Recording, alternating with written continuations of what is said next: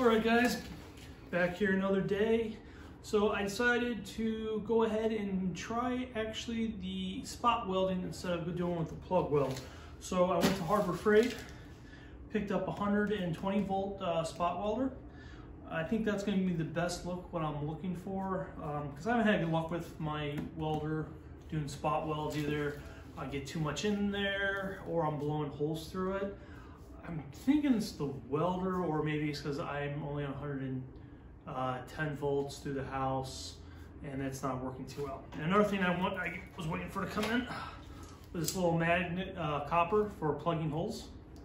So I got this because I the rocker, my rocker panels that I wanted to plug some of those holes because on the Datsun 510s, there's a bottom trim piece that goes on it. I'm not going to be using that. I don't want that bottom trim piece. So I wanted to get something like this to see if it gives me a better, uh, gives me a better way to plug those holes up. So I will uh, try this stuff out.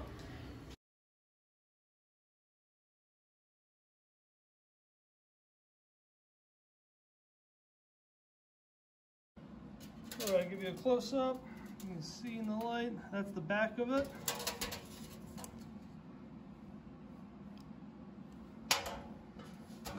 front, a little bit of grinding, pretty flush.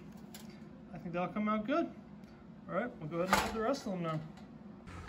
All right, here we go. I went ahead and I plugged one, two, three, four, and five went ahead and sand them down and I put some just uh, uh, epoxy primer on just to seal it up for now. Pretty flush. Uh, a few of them still a little too probably cold for this paint, so I'm trying to get it to dry. But it's pretty flush. A little bit indent on one, but so you can see around it a little bit. Maybe, hopefully you can see that. It's not completely, but I'm gonna go back and have to resand everything. I just wanted to give all that taken care of. And then I just shot some new weld through primer. I used Eastwood before. I, I didn't have good luck with it with my welder. So I wanted to try a new type of weld through primer, see if that makes a difference. I'm not using the Eastwood welder for this because I'm going to try I'm going to use the spot welder. But I put regular primer in the middle and I sprayed the top part and the bottom part here with this. had really good reviews. Got it off of Amazon. So we'll see. Hopefully it's better. We'll find out.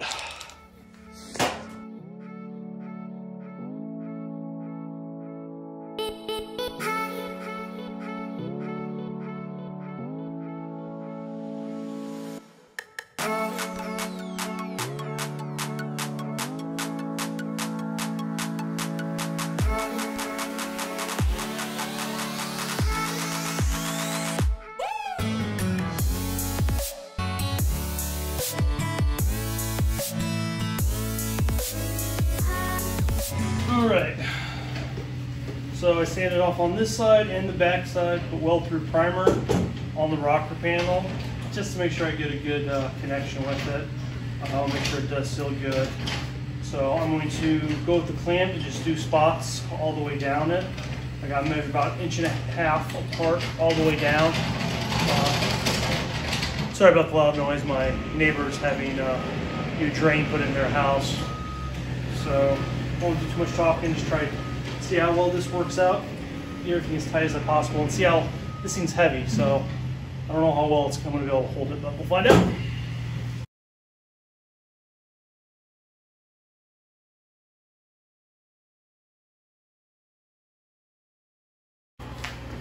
All right, uh, change of plans what I have to do first now. Uh, my support bar here is in the way, so I can't get up and through here and do the pinch weld on it. So I'm gonna get my regular welder out first. Uh, I'll weld the spots up and through here a little bit and down here to strengthen it so I'll be able to remove this bar without having to worry about any issues. So let's do that first now.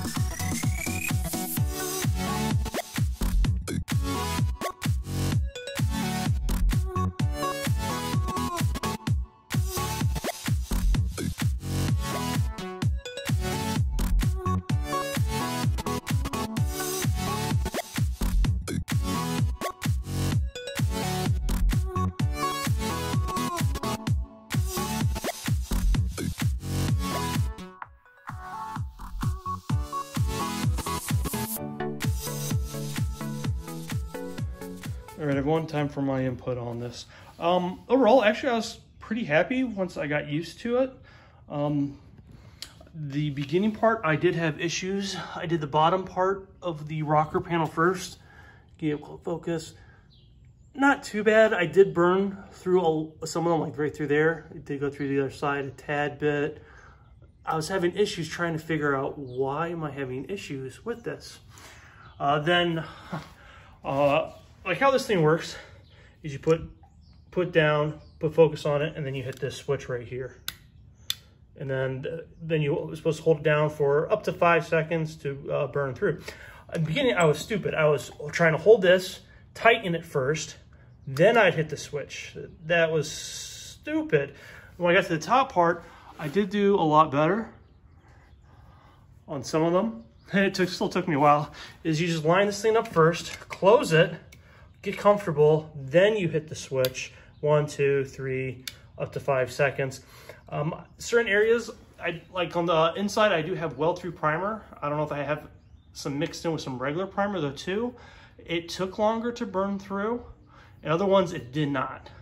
So I am overall happy. I do gotta go back, sand it, and I will just go and fill up a few of the holes I did blow through, or I put too big of a gap in hole in two.